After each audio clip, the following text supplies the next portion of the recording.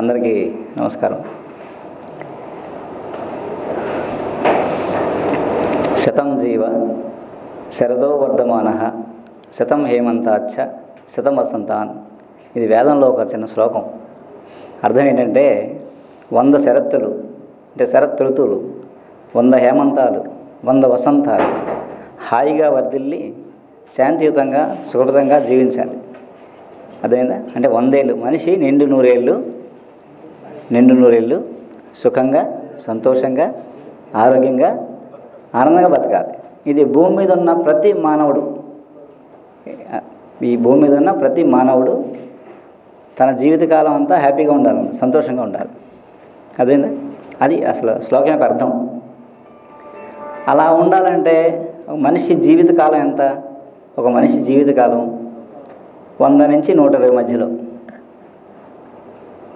వంద నుంచి నూట ఇరవై. మనిషి లైఫ్ నూట ఇరవై. నూట నలభై చెప్తారు. ఓ నూట ఇరవై అనుకుందాం. ఈ నూట ఇరవై ఏళ్ళు మనం సుఖంగా సంతోషంగా ఆరోగ్యంగా ఉండాలంటే ప్రకృతికి దగ్గరగా ఉండాలి. ఈ ప్రకృతికి దగ్గరగా ఉంటే మనం సెంచరీ కొట్టేస్తాం అన్నమాట పూర్వం మనం అందరం అలా ఉండేవాళ్ళం. అందరూ సహజంగా పుట్టి సహజంగా చచ్చిపోయేవారు సహజ మరణం ఎప్పుడు?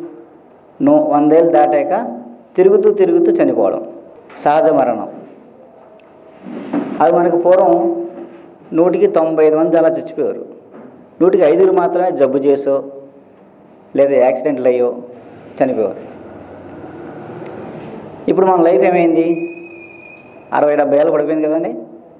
అంతేనా? అరవై డెబ్బై సంవత్సరాలు బతకడం కష్టం. పోనీ అరవై డెబ్బైలు బాగున్నామంటే ముప్పై ఏళ్ళ నుంచే జబ్బులతో ఏడుస్తాం. అంతే కదా? ఇంకా మనం పర్లేదు మన పల్లెటూరు మన గిరిజన ప్రాంతంలో కొంచెం మనకి అన్ని పెద్ద పెద్ద ప్రాబ్లమ్స్ థైరాయిడ్ అలాంటివి పెద్దగా లేవు మనకి. ఈ సిటీస్ ప్రకృతి ఎవరైతే దూరం అయిపోయారో వాళ్ళందరి పరిస్థితి ఏంటి? ఇరవై ఇరవై ఐదేళ్ళు ముప్పై ఏళ్ళ నుంచి అంటే దీర్ఘకాల వ్యాధులు. అంటే మనిషి బతికొంతకాలం ఉండే జబ్బులు వచ్చేస్తాయి బీపీ షుగర్ థైరాయిడ్ ఇంకా పెద్ద పెద్ద తర్వాత క్యాన్సర్ కిడ్నీ ఫెయిల్యూర్స్ ఇలా రకరకాల ప్రాబ్లమ్స్ వచ్చి ముప్పై ఏళ్ళ నుంచి మిగతా లైఫ్ అంతా జబ్బులు ఏడుస్తున్నారు దీనికి కారణం రెండే రెండు. సరైన ఆహారం. అంటే ప్రకృతి ఏదైతే మనకి ఇస్తుందో అది తినలేకపోవడం. రెండు వైద్యం. అసలు వైద్యం ఏదైతే ఉందో అది పక్కన పోయింది. అసలు మొట్టమొదటి మన వైద్యం ఏంటి?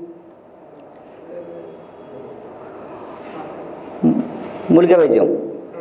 అసలు వైద్యం. ఈ భూమి మీద ఆది మానవుడు నేర్చుకున్న వైద్యం. ప్రకృతిని నేర్చుకున్నది మూలిక వైద్యం.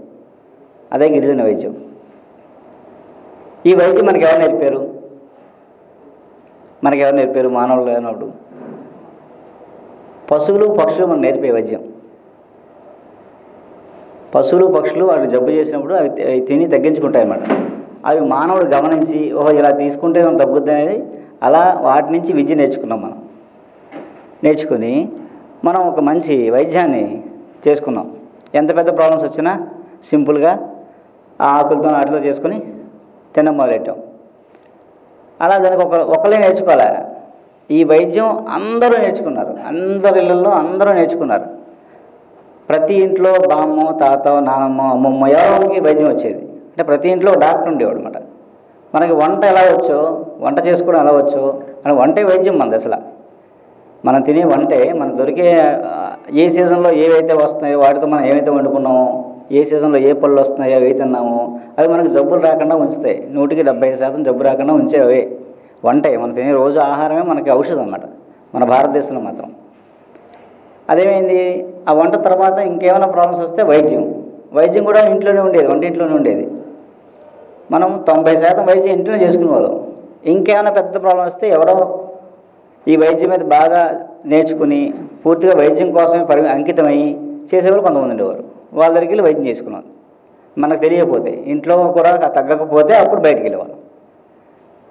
అలా ఏమైంది? రాను రాను ఈ వైద్యం అంతరించిపోయింది. మనకు తెలిసిన విద్య మన మన భారతీయ వైద్యం అంతరించిపోయింది.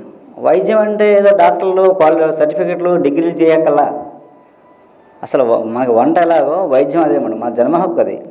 మన భారతీయులు నర నరాల్లో జీర్ణించిపోయి ఉన్న అది మన విద్య అది మన విజ్ఞానం. అలాంటిది ఇప్పుడు ఏమైంది పరిస్థితి? వైద్యం అంతా కనుమరుగైపోయింది కనుమరుగైపోయిన తర్వాత ఇంకా కొత్త కొత్త వైద్యాలు వచ్చాయి మనకి. ఇంగ్లీష్ వైద్యం వచ్చింది. ఎప్పుడైతే ఇంగ్లీష్ వైద్యం వచ్చిందో నెమ్మది నెమ్మదిగా మనం డైవర్ట్ అయిపోయాం చాలామంది. దానికి వెళ్ళిపోయాం. అంటే స్పీడ్గా తగ్గుద్దని అలా. ఆ వైద్యానికి ఎప్పుడైతే అట్రాక్ట్ అయ్యామో పరిస్థితి ఏమైంది? ఇంట్లో నేర్చుకున్న వైద్యం కూడా మన మన ఇంట్లో చేసుకున్న చిన్న వైద్యం కూడా చేసుకోవడం మానేసాం. మర్చిపోయాం మనం మన మన తాత నుంచి మన అమ్మమ్మ నుంచి నేర్చుకోవడం మానేసాం. దాంతో మొత్తం ఇంట్లో వైద్యమే తెలియదు. మనం కొనుక్కునే పరిస్థితి వచ్చు ఇలా ఇలా ఇలా మొత్తం మనం మన మన విద్య ఏదైతే ఉందో అదంతా అడుగంటిపోయింది. అలాగే మూలిక వైద్యం చేసేవాళ్ళు ఉన్నారు వైద్యం చేసేవాళ్ళు. ఈ వైద్యం చేసేవాళ్ళ పరిస్థితి ఏంది ఏ వాళ్ళు చేసుకుంటూ వచ్చారు. తర్వాత తర్వాత మనం చదువుకున్న తర్వాత వాళ్ళ పిల్లలు మీ తాతగారు మంచి వైద్యులు అవ్వచ్చు వాళ్ళ మనవడు ఇప్పుడు ఆ పరిస్థితి లేదు. చదువుకుని ఉద్యోగం ఇంకో పనో ఇంకో పనో వెళ్ళిపోతున్నారు. ఈ గిరిజన వైద్యం ఎలాంటిదంటే ఒక్కొక్కరు ఒక్కొక్క సైంటిస్ట్. ఇప్పుడు మీ తాతగారు ఒక వైద్యం చేస్తున్నారు అనుకోండి ఆ వైద్యం నాకు తెలిసి ఈ భూమి మీద ఇంకొకరు ఎవరు చేయరు అలాగ ఆ పద్ధతిలో అంత సింపుల్గా.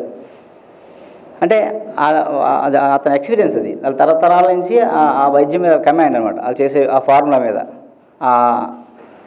అలా ఉంటుంది అనమాట అలా ఏమైంది తర్వాత తర్వాత ఇంక పిల్లలు నేర్చుకోవడం మానేసాం. తర్వాత ఎందుకులే ఈ వైద్యం చేస్తే ఏమొస్తుంది అని కొంతమంది తర్వాత ఏమో కొంత భయం. ఈ సర్టిఫికేట్ లేదు మనకి ఏదో డిగ్రీ లేవు. డిగ్రీలు చదువుకోకుండా వైద్యం చేస్తే ఎలా అవుద్ది? ఏదో మొండి వైద్యం మోట వైద్యం నాటు వైద్యం అంటారు. తర్వాత తర్వాత ఇంకా ఏంటంటే మొత్తం ఈ వైద్యాన్ని మనం పక్కన పడేసి మనం వేరే వేరే పనుల్లోకి వెళ్ళిపోయాం. అయితే ఇప్పుడు బయట జరుగుతున్న వాస్తవం ఏంటంటే ఎన్ని రకాల వైద్యాలు ఉన్నా శాశ్వత పరిష్కారం లేదు. పరిస్థితి ఏంటంటే బోల్డ్ జబ్బులు ఉన్నాయి. బీపీ షుగర్ థైరాయిడ్ ఇవి చెప్పుకుందాం కొన్ని కేసులు. షుగర్ ఒక ఒక షుగర్ పేషెంట్ తీసుకుందాం. ఒక షుగర్ వ్యాధికి ఈరోజు ప్రపంచం ఎంత డెవలప్ అయింది అనుకుంటున్నాం కదా? ఏ వైద్యం అన్నా శాశ్వతంగా పరిష్కారం ఇవ్వగలుగుతుందా? శాశ్వతంగా తగ్గిపోద్దా? గ్యారంటీ ఉందా? ఇంగ్లీష్ వైద్యంలో కానీ హోమియోలో కానీ ఆయుర్వేదంలో కానీ యునానిలో కానీ సిద్ధాలు కానీ అడగండి. లేదు. కానీ శాశ్వత పరిష్కారం ఉంది. ఎక్కడుంది? గిరిజన వైద్యంలో ఉంది. మళ్ళీ ప్రకృతి దగ్గరగా వచ్చేస్తే శాశ్వతంగా తగ్గించవచ్చు సింపుల్ మెథడ్. దీనికి ఏం పెద్ద కదా ఈ జబ్బులు మనకు లేవే. ఏమైనా ఉన్నా సింపుల్గా తగ్గించుకునే వాళ్ళం. ఈరోజు లేదు. సొల్యూషన్ లేదు. ప్రతి చిన్న జబ్బుకి డబ్బులు విపరీతం ఖర్చు అయిపోతున్నాయి. అంతే కదా? జ్వరం వస్తే లక్షల లక్షలు ఖర్చు పెడుతున్నారు. ఇంతకుముందు జ్వరం వస్తే లంకనం చేసి తగ్గిపోయేది. సింపుల్గా. అయితే ఇంట్లో ఏ మిరియాలు తులసే తగ్గిపోయేది. అలాంటి సింపుల్గా ఇంట్లో పోయి వైద్యాన్ని మనం అంగట్లో కొనుక్కుంటున్నాం. పోనీ కొనుక్కున్నా దొరుకుతుందా? లేదు. ఒక జ్వరానికే లక్షలు ఖర్చు పెడితే ఇంక పెద్ద జబ్బుకి ఎంత? ఇప్పుడున్న పరిస్థితుల్లో వైద్యానికి ఆస్తులు అమ్ముకుంటున్నారు. కోటీశ్వరులు కూడా ఆస్తులు అమ్ముకుంటున్నారు. ఇల్లు ఒళ్ళు రెండు గొలవుతుంది ఒక క్యాన్సర్ వచ్చిందనుకోండి ఎవరికైనా. చిన్న ఫ్యామిలీ అవచ్చు పెద్ద ఫ్యామిలీ అవ్వచ్చు కోటీశ్వరుడు అవ్వచ్చు. ఎన్ని కోట్లు ఖర్చు పెట్టినా గ్యారంటీగా తగ్గిపోద్ది మా మాకు అనేది ఎవరికీ లేదు. ఆ భయం అభయం లేదు అసలు. ఈరోజు ఇన్ని రకాల వైద్యాలు వచ్చాయి. ఆయుర్వేదం యునాని సిద్ధ నేచురోపతి యోగా హోమియోపతి ఎలోపతి కదా? ఇవన్నీ ఉన్నాయి. కానీ ఏదైనా ఎక్కడైనా ఏ వైద్యమైనా అక్కడికి వెళ్తే నా- ఈ జబ్బు శాశ్వతంగా తగ్గిపోతుంది ఎక్కడ లేదు. అది పరిస్థితి. ఇప్పుడు అవన్నీ చూస్తారు జనం. జనం ఇంగ్లీష్ వైద్యం లోతంతా చూస్తారు. ఇంకా వాళ్ళకి అర్థమైపోయింది. ఇంక ఇది లాభం లేదు. మళ్ళీ మనం ఏదో ఆల్టర్నేట్ ఎదుర్కోవాలనే పరిస్థితిలో ఉన్నారు అందరూ. ఇంకా కనిపిస్తుంది ఏంటి తెలుసా? అన్నీ అయిపోయాయి. హోమియోపతి అన్నీ లోతులు చూసేశారు. ఒక నేచురోపతి అనుకుందాం పోనీ. నేచురోపతిలో ఎలా ఉందని పరిస్థితి? ఏవో కొంచెం ఇంట్లో చేసుకుంటాం. కానీ నేచురోపతి సెంటర్స్కి వెళ్తే నేచర్ క్యూర్ సెంటర్స్కి వెళ్తే ఎంత డబ్బో తెలుసా అండి? కనీసం ఇరవై వేలు. ఒక మూడు వారాలు ఉంటే ఇరవై వేలు ముప్పై వేలు డెబ్బై వేలు లక్ష లక్ష యాభై వేలు. కొన్ని చోట్ల అయితే రెండేసి లక్షలు తీసుకుంటారు జబ్బులు. అసలు వైద్యం అంటే అర్థం ఏంటంటే అతి సామాన్యం నుంచి అతి ఉన్నతమైన వాడి వరకు అంటే నిరుపేద నుంచి కోటీశ్వరుడు వరకు అందుబాటులో ఉండేదే మన వైద్యం. అదే గిరిజన వైద్యం. మన ప్రాచీన వైద్యం. అందుకే మన పూర్వీకులు అందరికీ అందుబాటులో ఉండాలనే విద్య వైద్యం ఆహారం ఈ మూడింటిని వ్యాపారం చేయాల. అందరికీ అందుబాటులో ఉంచారు. అసలు రూల్ అది అంతే. మనం ఆయుర్వేదం అది చూసుకుంటే మనకు చెరకుడు సుశ్రుతుడు వాళ్ళ నుంచి అలా వచ్చింది. ఆ అంతకుముందు ధనవంతరి ఇలా పరంపరగా వచ్చిందని చెప్పుకుంటాం. ఈ గిరిజన వైద్యం మనకు మనం కనిపెట్టుకున్నది. ఆది మానవుడి నుంచి మనం నేర్చుకున్నది. మన జీవన శైలిలో ఒక భాగం వైద్యం. ఇప్పుడు పరిస్థితి ఏంటంటే మన గిరిజన వైద్యానికి ఎంత డిమాండ్ ఉందో చెప్తాను నేను. మేము ఈ చూస్తున్నాం ప్రాక్టికల్గా. అంటే గిరిజన వైద్యం ఎలా ఉంటుంది తెలుసా అండి? ఒక వంద మంది గిరిజన వైద్యులు ఉన్నారనుకోండి వంద మంది. అందరికీ ఒక ఆకు తెలుసు ఇది తులసాకు తెలుసుకుందాం. అందరికీ తులసి తెలుసు కదా? గిరిజన వైద్యులకి అందరికీ తులసి తెలుసు. తులసి మొక్క తెలుసు. కానీ ఈ వంద మంది గిరిజన వైద్యులు తులసి మొక్కని వంద రకాలుగా వాడతారు.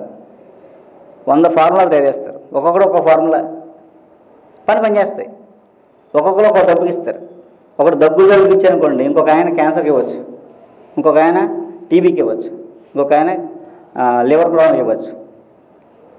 తగ్గిపోతాయి ఎందుకంటే వాళ్ళ వాళ్ళ ఎక్స్పీరియన్స్ తరతరాల నుంచి వస్తున్న వైద్యం ఇది. ప్రాక్టికల్గా ప్రూవ్ చేసింది మనం. ఇంత చాలా విలువైన నాలెడ్జ్ ఇక్కడే ఉంది. ఈ చేసే వైద్యం ఎక్కడ పుస్తకాల్లో దొరకదు. కొన్ని చదువుకుందా అంటే దొరకదు బయట. మన దగ్గరే. అదేనా అలాగని ఇదేం తీసిపడేసి కాదు. ఆ గ్రంథాల ముందు ఇది ఈ దీని ముందు ఆ గ్రంథాలన్నీ దిగదుడిపోయాయి. మనకు తెలిసిన విద్య పెద్ద పెద్ద గ్రంథాల ముందు దిగదుడుపు అనమాట అవి ఎందుకు పనిచేయవు? ఇది ప్రాక్టికల్గా మనం మన కళ్ళ ముందు మన చేత్తో మనం చేసి మన తాత చేసో మన ప్రాక్టికల్ ప్రూవ్ చేసాం. అదేవిధంగా అలాంటి వైద్యం ఇది. ఇంకోటి చెప్తాను చూడండి. మనకేంటంటే ఈ వైద్యం నేర్చుకుంటే మనకేంటి ఉపయోగం? అది ఉచితంగా మందు ఇస్తూ వీళ్ళు సొంతంగా బతకడానికి ఏదో పని చేసుకునేవారు. ఖాళీ టైంలో మందు ఇచ్చేవారు ఫ్రీగా. కొంతమంది తర్వాత ఎంతో కొంత తీసుకునేవారు. తర్వాత తర్వాత ఏంటంటే ఇన్కమ్ సోర్స్ అంటే ఈ వైద్యం మీద ఆదాయం రాదనే కాన్సెప్ట్తో అందరం మనం సైడ్ వెళ్ళిపోయాం. వదిలేసి అంతే కదా? ఈ వైద్యాన్ని ఎవరు నమ్ముతారు? మన దగ్గరికి ఎవరు వస్తారు? రెండు మనకి దీనికి చే- నేర్చుకోవాలంటే సర్టిఫికేట్లు ఉండాలి లేకపోతే లైసెన్సులు ఉండాలి అవి ఉండాలి ఇవి ఉండాలి ఏదో ఒక మనకి ఒక భయం. చేస్తే ఎవరిని పట్టుకుంటారేమో? అవునా కదా? ఉన్నాయి ఎలాంటి భయాలు మనకి? ఖచ్చితంగా కదా? ఖచ్చితంగా ఉన్నాయి కదా? ఉన్నాయి కదా? రైట్. ఇక్కడ చెప్తాను. ఇక్కడే మనం కరెక్ట్గా నిర్ణయం తీసుకుంటే అవన్నీ పక్కన పెట్టేయచ్చు. ఒకటి చెప్పమంటారా? మనం అన్నిటికీ వైద్యం చేయకల్లా.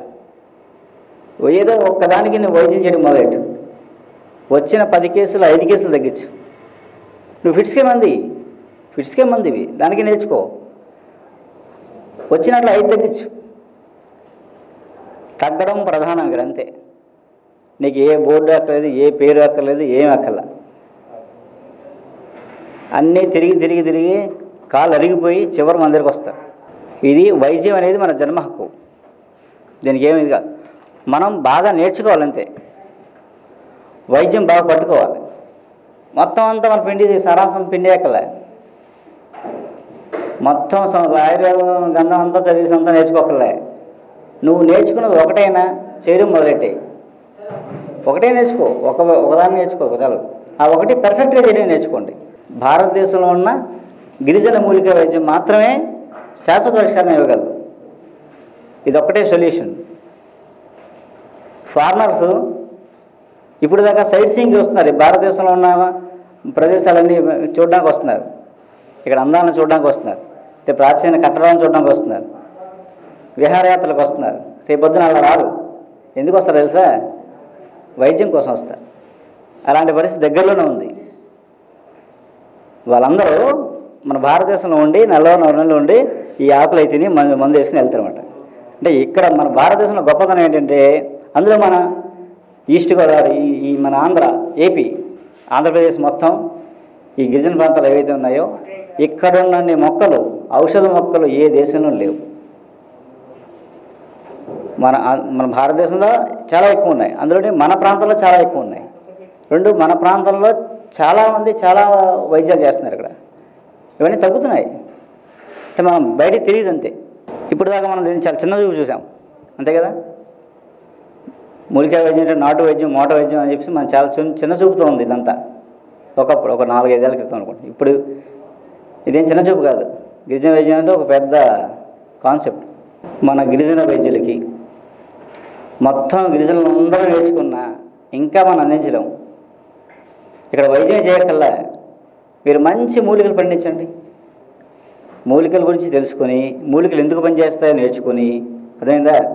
ఈ మూలికల్ని పెంచడం నేర్చుకోండి. ఫ్రెష్ మంచి మూలికలు పెంచితే రిక్వైర్మెంట్ బోర్డు ఉంది బయట. ఇవి ఎక్కడే పెరుగుతాయి. ఈ మంచి మొక్కలు కానీ తీసుకెళ్ళి ఏ కాకినాడలో వేసాను అనుకోండి నేను తీసుకెళ్ళి. ఏం పండవు. క్వాలిటీ రాదు. ఇప్పుడు పరిస్థితి ఏంటంటే ఇంకో పరిస్థితి ఉంది బయట ఇప్పుడు ఆయుర్వేదం డాక్టర్లు ఉన్నారా? ఆయుర్వేదం డాక్టర్స్? డిగ్రీ చదువుకునే వాళ్ళు. అసలు ఆయుర్వేదం అంటే పూర్వం చేసేవారు వైద్యం నేర్చుకుని సొంతంగా మందు తయారు చేసి ఇచ్చేవారు. పేషెంట్ వస్తే తయారు చేసి ఇచ్చేవాడు. ఆయుర్వేద వైద్యులు కూడా. ఇప్పుడు ఎవరు చేయట్లా? డాక్టర్లు అందరూ ఏం చేస్తున్నారు? ఎవరికి చేసే ఓపిక లేదు. చేయడం కూడా తెలియదు అనుకోండి. చేసే ఓపిక లేదు. ఫ్రెష్ యాప్స్ తెలియదు వాళ్ళకి చాలా మొక్కలు గుర్తించడం రాదు నాకు తెలిసి. వాళ్ళందరూ ఏం చేస్తున్నారు? కంపెనీ మందుల మీద ఆధారపడుతున్నారు. ఆయుర్వేద కంపెనీ మందుల మీద డాక్టర్లు అందరూ ఆధారపడుతున్నారు. వైద్యులందరూ. ఎవరు? బిఏఎంఎస్ ఎండి చదువుకున్న వాళ్ళందరూ కంపెనీ మందుల మీద ఆధారపడుతున్నారు. కంపెనీ మందుల పరిస్థితి ఏంటి ఇప్పుడు? కంపెనీ వాళ్ళకి రా మెటీరియల్ కావాలి. అంటే మూలికలు కావాలి కదా?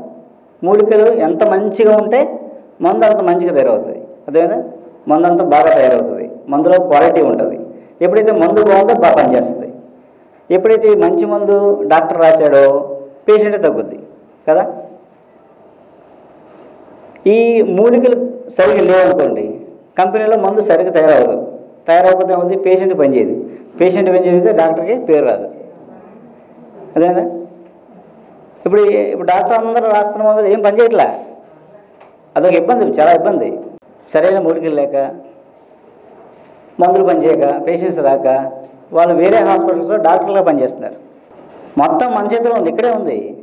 గిరిజనుల్లో అసలు పట్టు ఉంది. అది మనకి తెలియక సరిగా. ఒకటి నువ్వు వైద్యం నేర్చుకోవచ్చు. మంచి వైద్యం చేయొచ్చు. నీకు దొరికే మూలికలతోటి. రెండు మంచి మూలికలు పెంచి మంచి కంపెనీలకి మంచిగా సప్లై చేయొచ్చు. అంటే ఇన్కమ్ సోర్స్ ఎంత ఉందో చెప్తున్నాను మీకు. నీకు చదువుతో సంబంధం లేదు.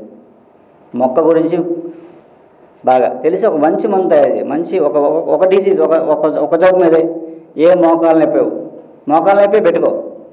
మోకాల నొప్పులకే మందు ఇవ్వడం నేర్చుకో. మోకాల నొప్పుల మీద ఏమేమి ఉన్నాయో నేర్చుకుందాం. ఒక్క మోకాల నొప్పికే మంది నువ్వు తగ్గడం మొదలైంది అనుకో నువ్వు అందించలేవు. నువ్వు నువ్వు ఒక మంది హెల్ప్ చేసుకోవాలి నువ్వు. అది పరిస్థితి. ఎంత రిక్వైర్ ఉంటుంది బయట. బయట కోట్ల ల- కోటాను కోట్లలో ఉన్నారు పేషెంట్స్ ఇక్కడ మనం కోట్లలో కూడా లేము లక్షల్లో కూడా లేము వేలల్లో కూడా లేము అది మనం పర్ఫెక్ట్గా నేర్చుకుంటే చాలు. నేర్చుకుని తగ్గింది రెండు మంచి మొక్కలు పెంచి అంది. నీకు టన్నులు టన్నులు కావాలి ప్రొడక్షన్ కంపెనీలకి. ఎవరు ఎందుకు? నాకే ఒక ఫార్మసీ ఉంది. నేను ఫార్మసీ పెట్టిందే ఒక అందుకు. ఎందుకు? నేను నేర్చుకున్నది మీ దగ్గరే. గురు గిరిజన గిరిజనులందరూ నా గురువులతో సమానం. మేము దాదాపు రెండు వందల నుంచి వైద్యం మీద మాది. దాదాపు రెండు వందల సంవత్సరాల నుంచి మేము ఇదే పని. మా తాతగారు తాతగారి నుంచి. అప్పుడేవో బాగా ఆస్తులు ఉండేవి.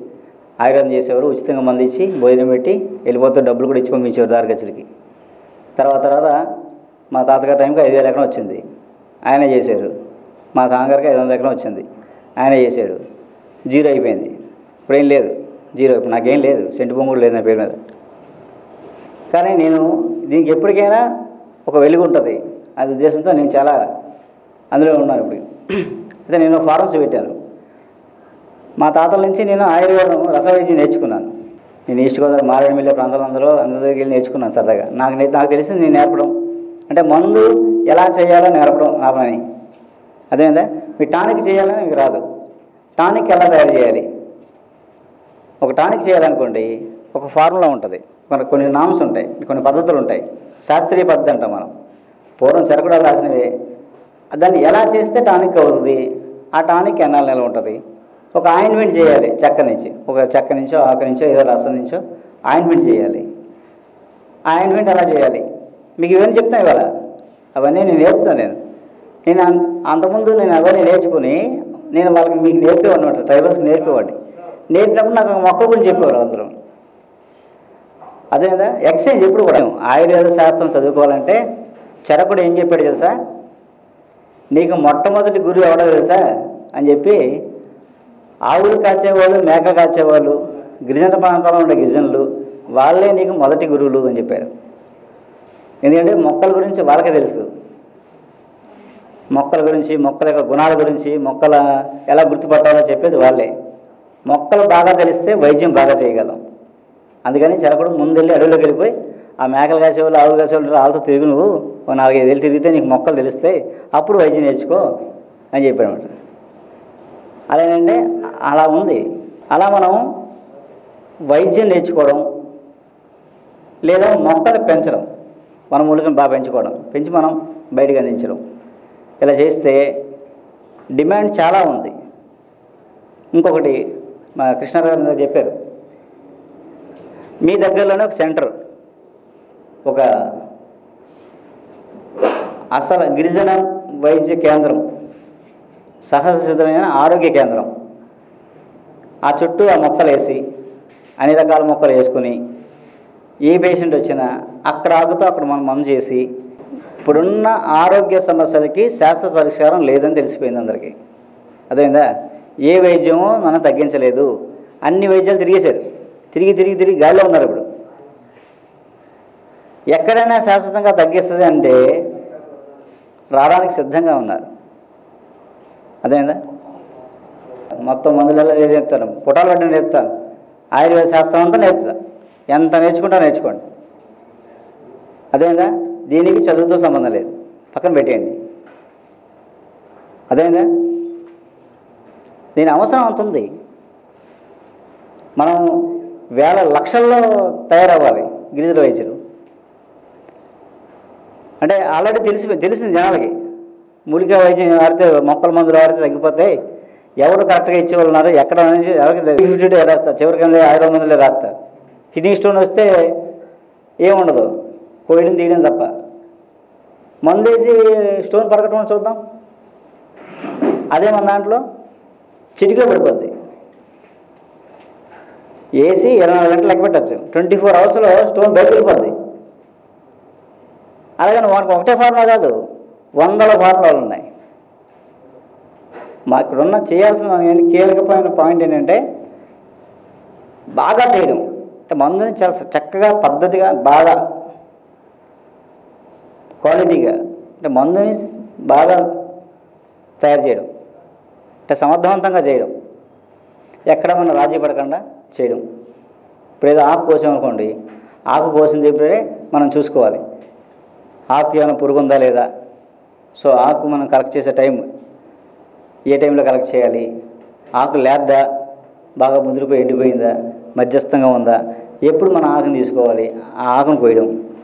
కోసిన దానికి మనం తడి లేకుండా ఎలా నూరుకోవాలి? ఎలా దాన్ని పాడవకుండా చూసుకోవాలి? సో మోతాదు అలాగా అవన్నీ మనం చక్కగా నూరడం. అంటే బాగా మెత్తగా నూరాలి. మర్దనం గుణవర్ధనం అంటారు. అంటే ఎంత బాగా మెత్తగా నూరితే అంతది. మనం చేసేటప్పటి నుంచి ఒక యజ్ఞంలాగా ఏదైతే మనం లివర్కి ముందు చేస్తున్నామో మన సంకల్పంతో దాని మీద ఉండాలి. ఇది చేస్తున్న ఎప్పుడు కూడా నేచర్ మనకి కనెక్ట్ అయి ఉంటుంది. మనకి ఎప్పుడు ప్రకృతి మనకి అనుసంధానమై ఉంటుంది. మనం ఆ, లివర్కి తగ్గడానికి ముందు చేస్తున్నాను నేను. సో వాళ్ళు బాగుండాలి. ఓ సంకల్పం అంతే అనుకుని మనం దాని మీద దృష్టి పెట్టి ఏకాగ్రతతో చేస్తే డాక్టర్ ఉండాల్సిన క్వాలిటీస్ ఏంటంటే వైద్యం చేయాలంటే ఉండాల్సింది డిగ్రీలు కాదు. మంచి హృదయం అంటే మనస్ఫూర్తి ఒక అంకిత భావం. రెండు వాళ్ళ బాధ మన బాధలా ఫీల్ అవ్వాలి. అర్థమైందా? అయినప్పుడు నీకు ఆటోమేటిక్గా మీకు మెసేజ్ వస్తుంది. ఒక ఆయన దగ్గరికి వచ్చి అమ్మ చచ్చిపోతున్నాను అంటాడు. ఈయన దగ్గర ఏముండవు? అలా అలా చెప్పి ఈయనంటే నమ్మకం పేషెంట్కి విపరీత నమ్మకం ఇది. ఈయన చేస్తాడు? గుండి పీకేసి ఇది వేసుకో అంటాడు. ఆ కంగారు వేసుకుంటాడు. తగ్గిపోయింది అంటాడు. ఇచ్చింది గుండి షర్ట్ గుండి. ఏం పని చేసింది? ఇతని సంకల్పం చేసింది? అతను తగ్గాలని మనసు మనస్ఫూర్తిగా వీడు బాగుండాలి మంచి భావంతో ఇచ్చాడు. వేసుకున్నాడు అంటే నాకు ఏదో ఇచ్చాడు తగ్గిపోద్దనే ఫీలింగ్ ఎప్పుడైతే మనం ఎంత ప్యూరిటీగా ఎంత మనం సంకల్పం. పేషెంట్ బాగుండాలనే సంకల్పం ఉంటే చాలు మనకు వైద్యం వస్తుంది. ఎలాంటి కేసైనా తగ్గిపోతుంది ఇప్పుడు అది లేదు బయట. బయట డాక్టర్స్లో అది లేదు. ఎక్కడా అంకిత భావం లేదు. ఎంతసేపు? వేరే థాట్స్ కమర్షియల్ థాట్ అప్పుడు నువ్వు నీకు ఇంకొక బెనిఫిట్ ఇక్కడ నువ్వు ఎంత ఫీజులు పెట్టకల్లా అదేందా ఆడు తిరిగి తిరిగి వస్తాడు. నువ్వు మనస్ఫూర్తిగా తగ్గాలని సంకల్పంతో మంది. తర్వాత నీకు నచ్చింది నీ మనస్సాక్షికి నచ్చింది నువ్వు చేయను. మనం అడిగి వంద రూపాయల కన్నా వెయ్యి రూపాయలు ఇస్తాడు ఎప్పుడు కూడా మనకి ఏంటంటే వైద్యంలో చాలా టాప్ సీక్రెట్ ఇది. ఎవరికి అర్థం కాదు. ఫస్ట్లో ఇబ్బంది కష్టం అనిపిస్తుంది. వైద్యం చేస్తున్నాం కదా. సో ఈ మందు చేసి ఇంతమందికి ఇస్తే డబ్బులు వస్తాయి అనుకుంటాం కదా. అలా కాకుండా పేషెంట్ ఏంటి పేషెంట్ బాధ ఏంటి పేషెంట్కి తగ్గాలని సంకల్పం చాలు మనకి. పేషెంట్కి మనస్ఫూర్తిగా తగ్గాలనే ఒక సంకల్పం మనం బలంగా ఉండి మందు ఇస్తే అతని నుంచి మనకి ఎంత వస్తుందో సెకండరీ పక్కన పెట్టేయండి.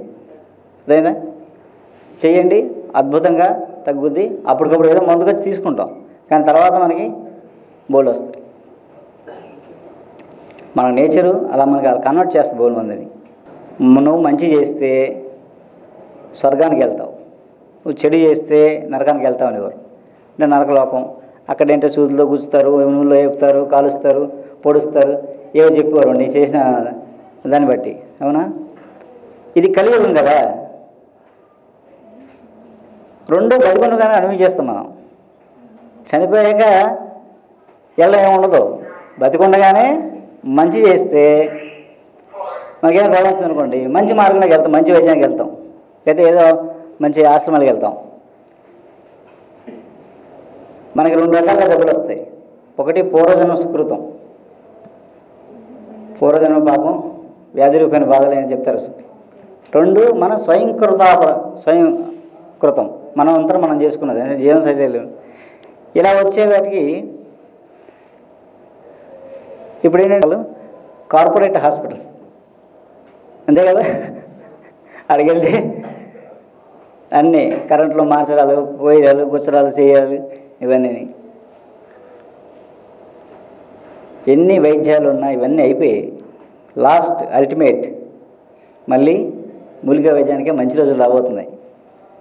మనం ఎంత తొందరగా నేర్చుకుని ఎంత బా- మనం ఎంతమందిని తయారు చేయగలిగితే రేపొద్దున మనం సొసైటీకి అంత చేయగలుగుతాం. ఇక్కడ ఏంటంటే మనకి పుణ్యం పుణ్యం పురుషార్థం కలిసి రావాలంటారు కదా?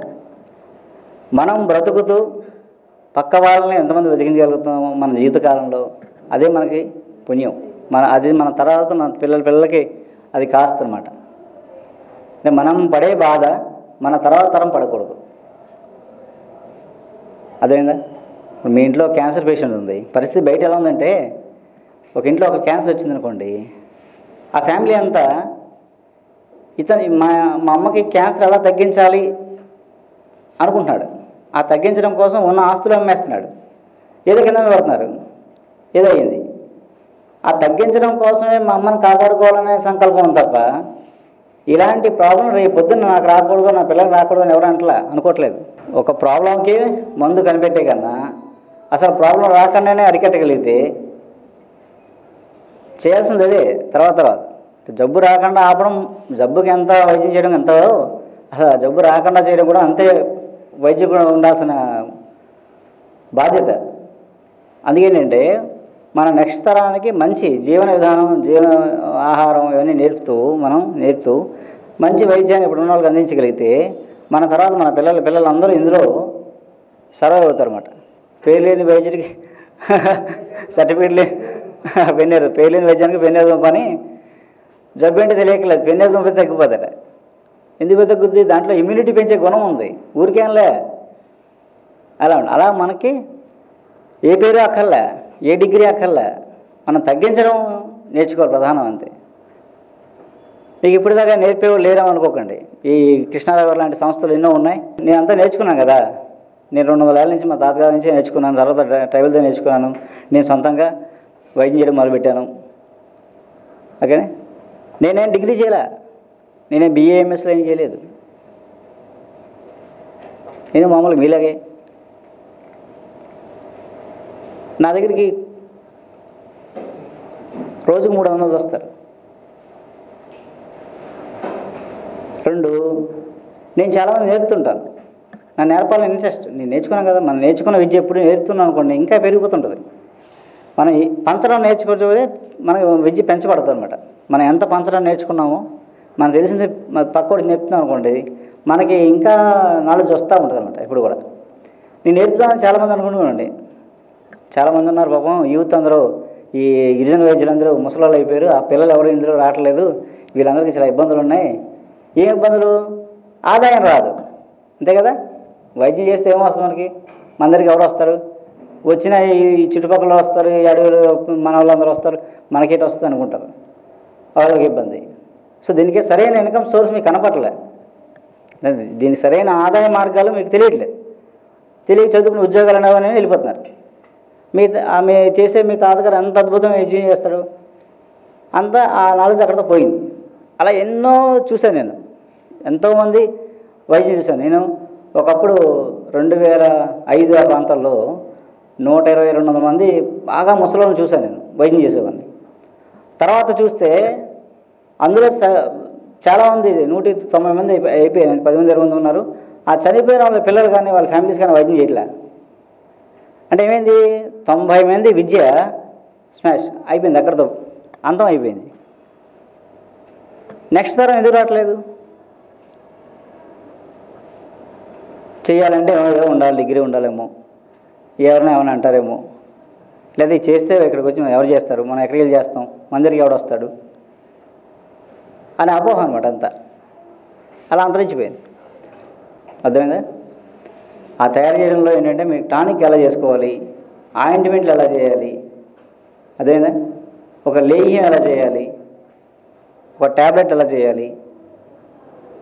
ఏ రసాయనాలు వేయకుండా ఏ రసాయన పదార్థాలు వేయకుండా సహజ సిద్ధంగా మనం పూర్వీకులు ఎలా నిల్వ ఉంచారు వాటిని అవన్నీ మీకు చెప్తాం. ఈజీగా మీకు చుట్టూ మీ అందుబాటులో ఉన్నవి.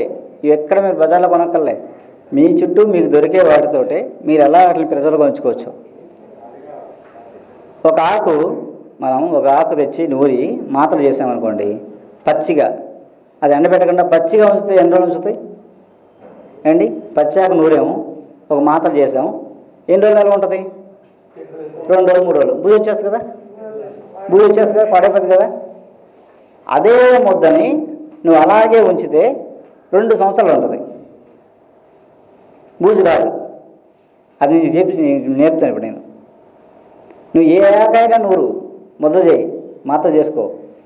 అదేందా అది అలాగే ఉంచు ఎండబెట్టక్కల రెండు సంవత్సరాలు అది అలాగే ఉంటుంది అంత బాగా పనిచేస్తుంది. దాంట్లో గుణాలు ఎక్కడికి పోవు. అవన్నీ సింపుల్. నీకు నీ ఇంట్లో ఉన్నవే నీ చుట్టూ ఉన్నవే.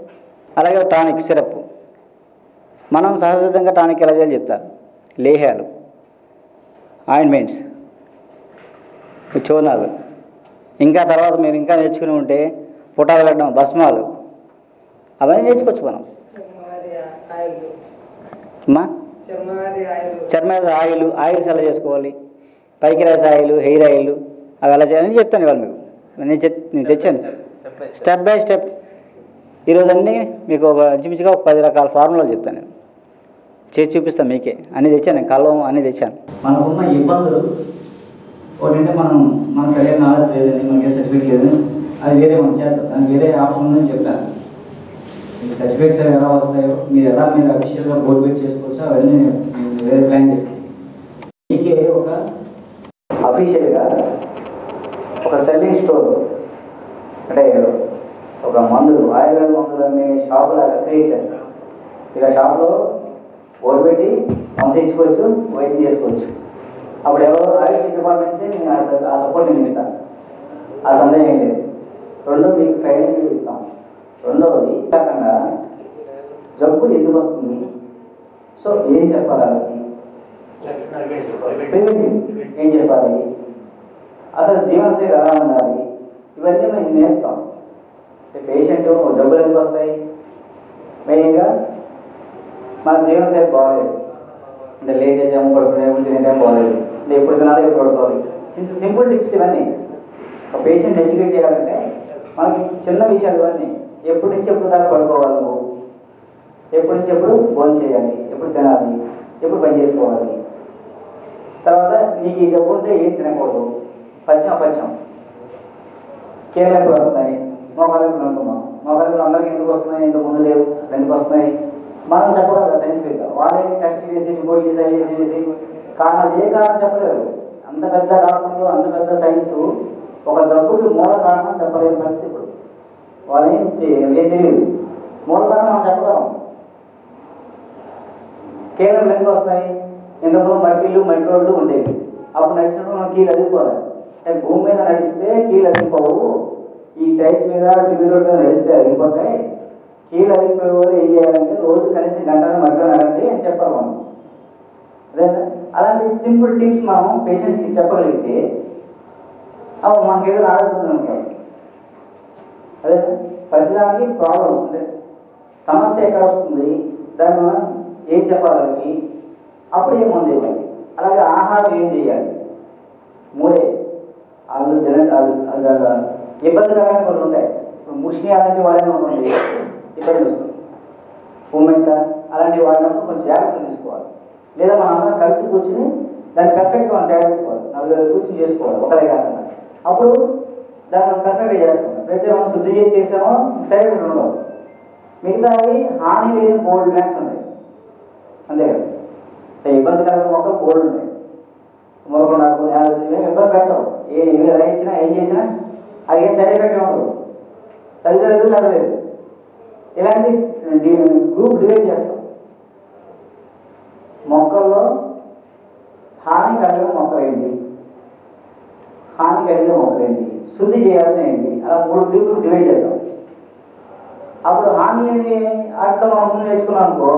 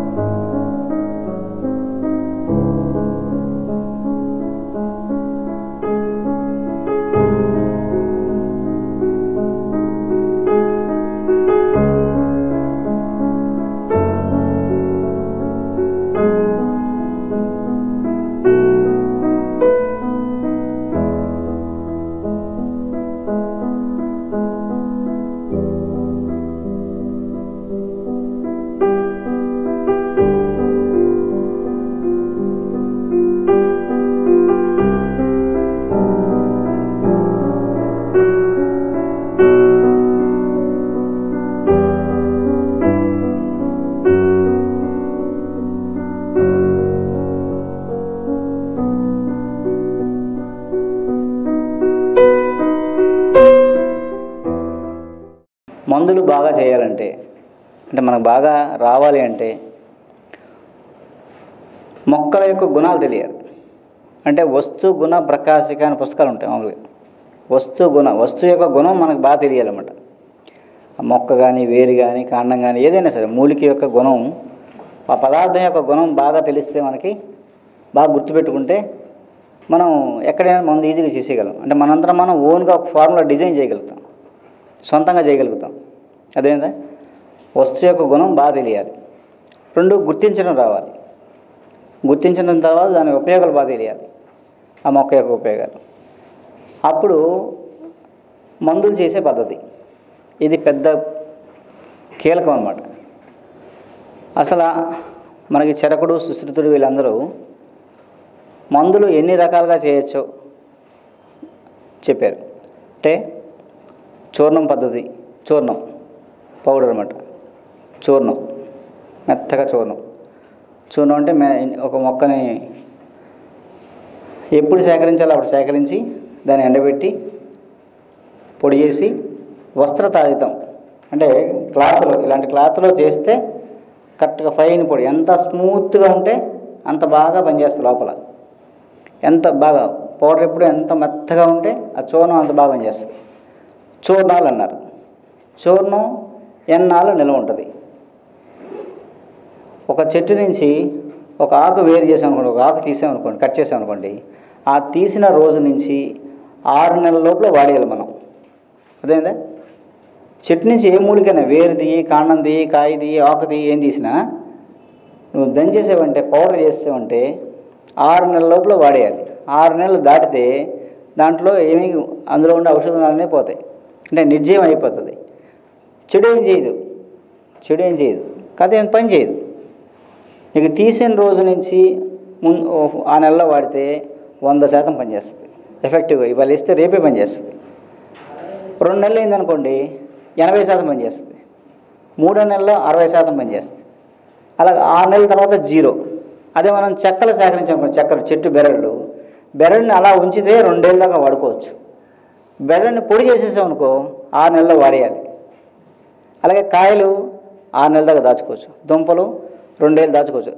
కాయలు దుంపలు ఇవన్నీ అలా దుంపలుగా ఉన్నంతసేపు మన పురుగు పట్టినంతసేపు అవి ఉంటాయి. ఒకసారి మనం పౌడర్ చేసేసామంటే ఆరు నెలల లోపల దాన్ని వాడేయాలన్నమాట. చూర్ణాలు ఆరు నెలలు. చూర్ణాల తర్వాత మాత్రలు. మనం చేసే మాత్రలు. మాత్రలు కూడా ఓన్లీ మూలికలతో చేస్తే ఒక సంవత్సరం. మూలికలతో చేస్తే. భస్మాలు అవి వేసామనుకోండి ఏ శంఖ భస్మం కాశీస్ భస్మం అలాంటి భస్మ రసౌషధాలు వేసామనుకోండి వందల సంవత్సరాలు ఉంటాయి. అది వేరే అది సెకండ్ ప్రాజెక్ట్ మనం ముందు మూలికలు మాట్లాడినాం కాబట్టి మూలికలతో ఏం చేసినా మాత్రలు అయితే ఒక సంవత్సరం ఉంటాయి. టానిక్ అని అంటున్నాం టానిక్ కాదు మన పేరు ఏంటంటే పానకం.